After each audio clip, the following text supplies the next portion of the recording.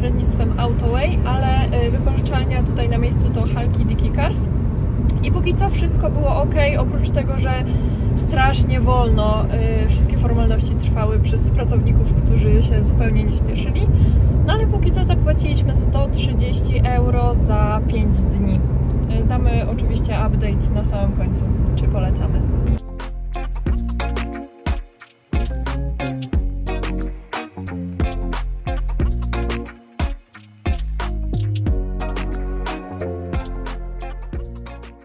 Kalimera, witamy po dłuższej przerwie na kanale. Teraz mieliśmy trochę naszych takich prywatnych podróży, ale znowu wracamy z vlogami, przynajmniej tym jednym, a jesteśmy w Grecji! miłego oglądania.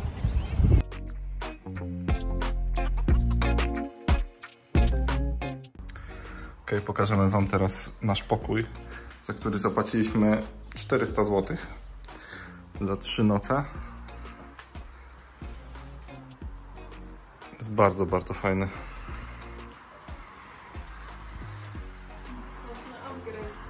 No, dostaliśmy darmowy upgrade i zobaczcie ten widok.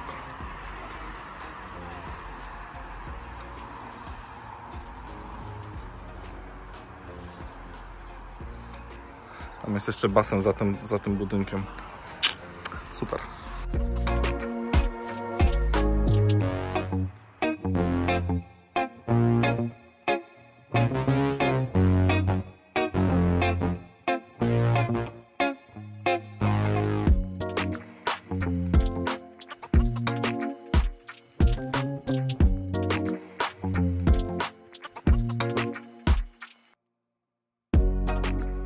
Witajcie kochani drugiego dnia. Dzisiaj przyjechaliśmy na półwysep Athos, żeby wypożyczyć sobie łódkę i popłynąć e, w rejs na wysepki. E, Koszt wypożyczenia takiej łódki to 60 euro dla dwóch osób e, plus koszt paliwa, jaki zużyjemy.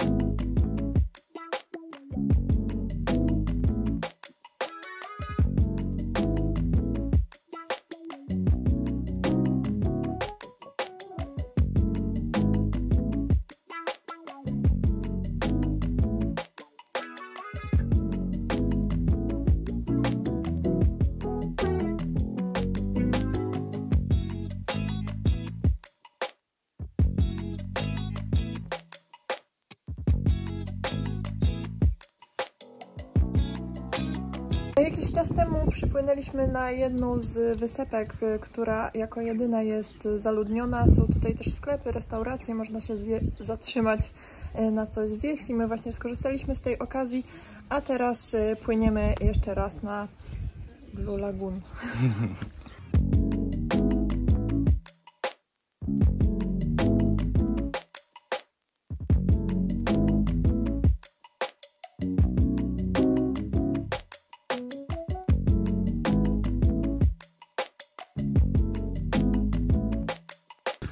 Wypożyczacie sobie taką łódkę, to w zasadzie możecie parkować gdzie chcecie. Jedyny wymóg to, żeby była plaża piaszczysta. Wtedy taką kotwicą cumujecie i zwiedzacie jakieś bezludne wyspy.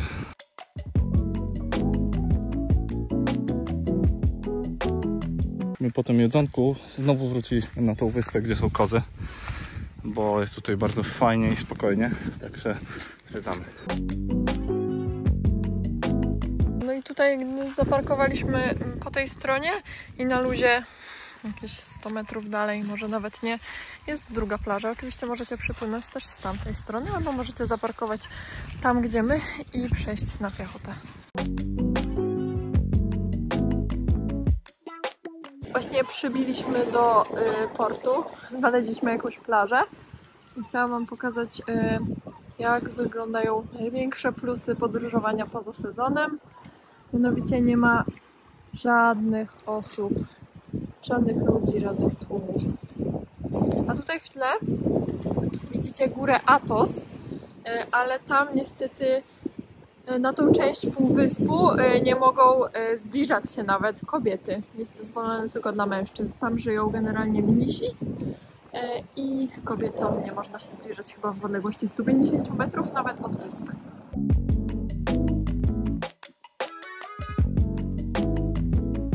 Niechcący rozłościliśmy mewy i próbują nas yy, zaatakować, tak. Ale to dosłownie. No. Bardzo blisko latają, cały nam usiąść na głowie.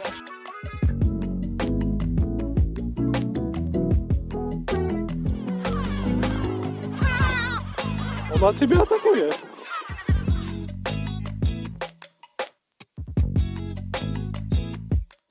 To jeszcze szybki update. Za cały dzień e, pływania zapłaciliśmy 60 euro za wypożyczenie plus 30 euro za paliwo, czyli łącznie 90 euro. Tutaj kaucja nie była w ogóle wymagana. Kolejny wieczór w y, restauracji. Ja kolejny raz zamawiam kalmary, ale naprawdę no, nie, nie jada się często tak dobrych i świeżych kalmarów. To już nasz trzeci dzień, właśnie zaczynamy go od śniadanka i dzisiaj będziemy zwiedzać plaże. Najpiękniejsze plaże w Grecji.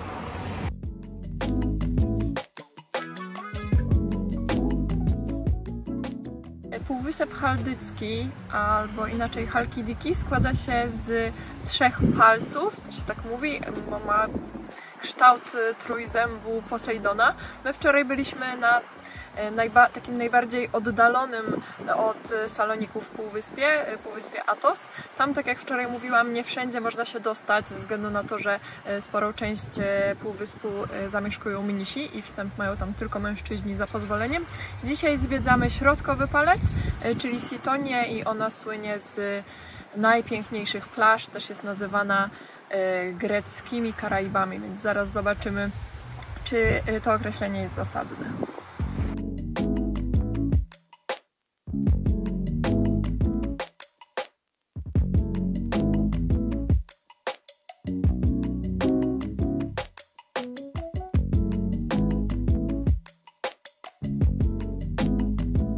Wam, że póki co jesteśmy zachwyceni. E, Tutaj przyjechaliśmy teraz na Karydi Beach. To jest jedna z piękniejszych plaż, ale tutaj tych pięknych plaż jest całe mnóstwo, bo aż 92 są oznaczone błękitną flagą.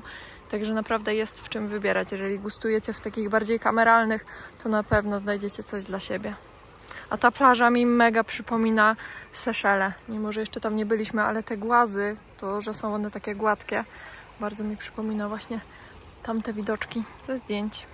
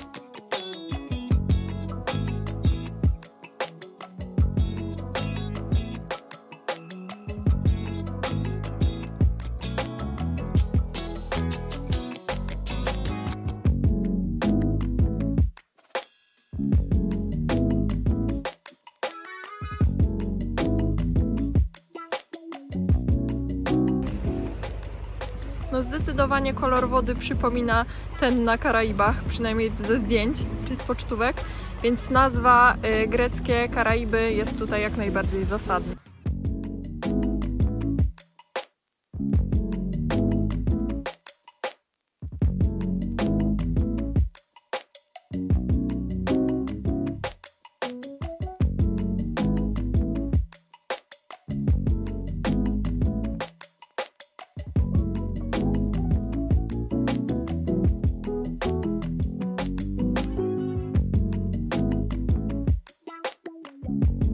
Naszym planie to jest czwarta plaża. Zostało nam jeszcze sześć, ale już bezapelacyjnie jest to nasza ulubiona i najpiękniejsza plaża, jaką w życiu widzieliśmy. Po prostu kolory są jak na Karaibach. No, tu zobaczcie, widać tu za nami. Jesteśmy w raju. I ta nazwa nie jest przypadkowa. Tak, tak.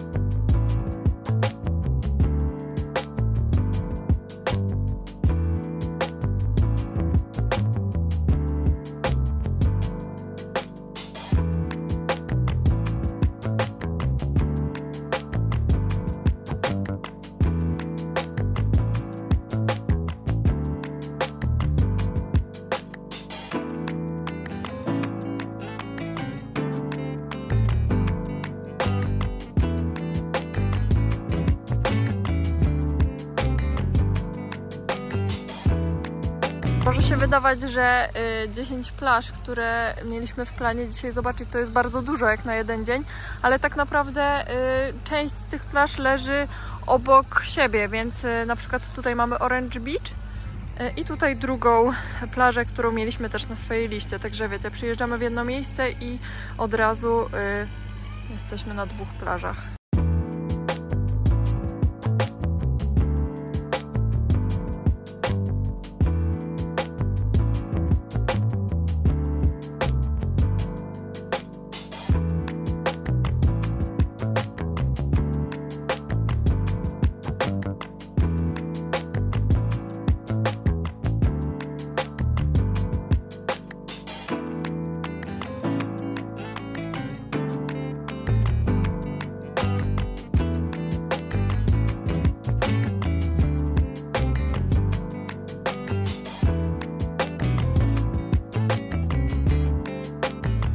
Dzisiaj mieliśmy zupełnie inne plany, y, ale stwierdziliśmy, mieliśmy jechać na meteory, y, ale stwierdziliśmy, że to jest w sumie za daleko jak na taki krótki pobyt.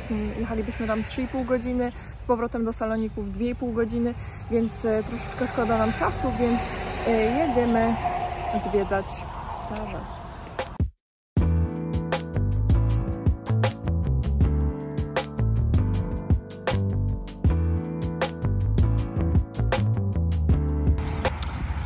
Właśnie w Neapod Idea e, na półwyspie Cassandra, czyli tym najbliżej Saloników.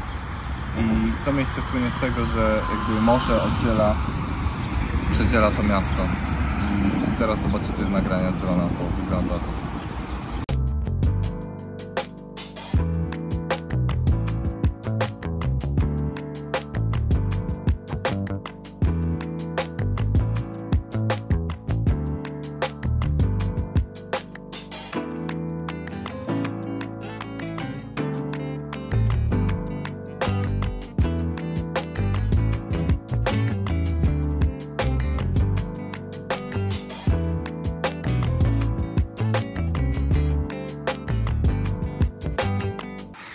Zatrzymaliśmy się właśnie przy jednym z punktów widokowych e, na trasie. Cały czas jesteśmy na półwyspie Cassandra i tutaj zauważyliśmy, że znacząco różnią się krajobrazy względem e, dwóch poprzednich półwyspów, które zwiedziliśmy wczoraj i przedwczoraj. E, Tutaj są takie pomarańczowe skały, które nam bardziej przypominają Portugalię, no ale też jest pięknie, no zobaczcie sami.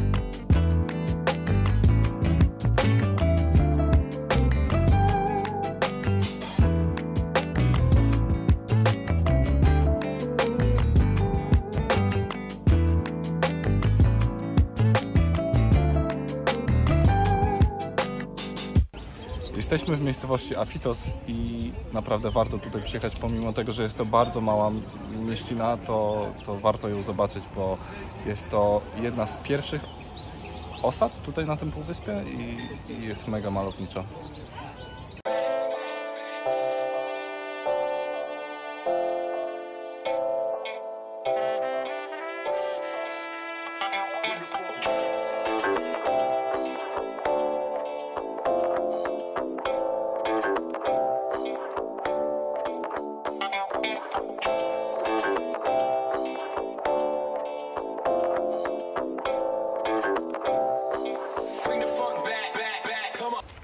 Ale Grecji musimy przyznać jedną rzecz, że wszystkie drogi dojazdowe do plaży są fenomenalnie oznakowane i, no i są też w miarę spoko, nie? że da się dojechać tutaj samochodem i, i jest w porządku.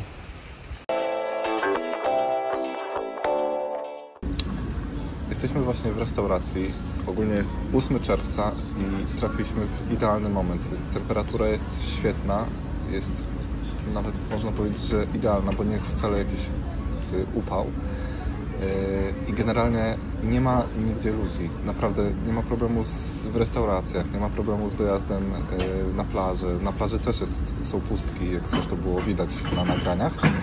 I polecamy właśnie ten początek czerwca, bo jest idealny.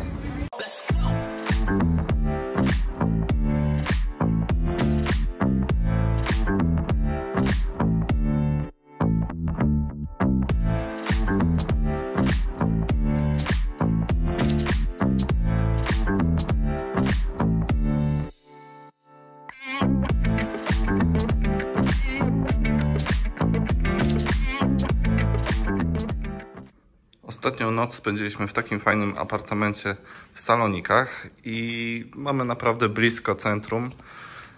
Ciężko było strasznie zaparkować. Jedynym minusem tego mieszkania jest to, że jest strasznie głośno, jak się otworzy okno.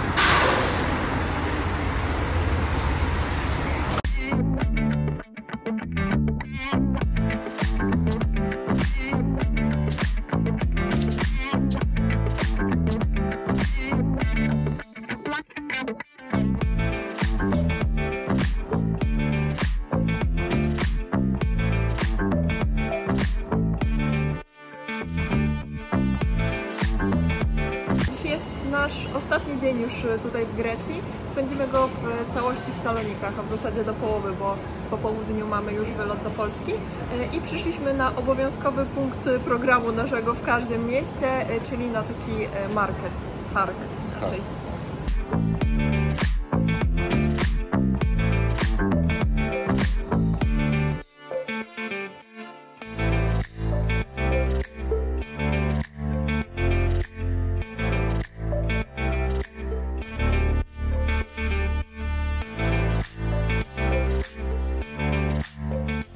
Właśnie nasza grecka przygoda dobiega końca, ale chcielibyśmy jeszcze zrobić obiecany update y, wypożyczalni samochodów.